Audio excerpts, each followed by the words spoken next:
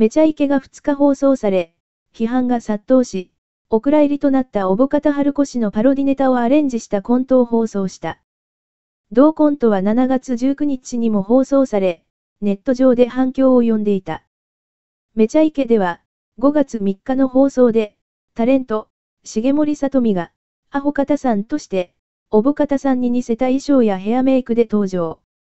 質問に、あります、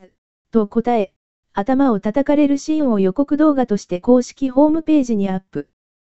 しかし、アホ方さんなどのネーミングなどに批判が集中し、直後の放送を見送った経緯があった。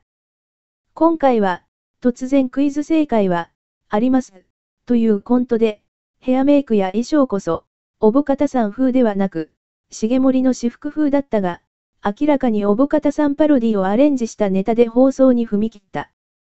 クイズは、四字熟語が実際に、あります、なのか、ありませんなのかを答えていくというもので、マラソンの、総兄弟や、クうねる遊ぶという言葉を、おバカキャラで知られる重森が、熟語として、あります、と答え、加藤浩二にスリッパで頭を叩かれていた。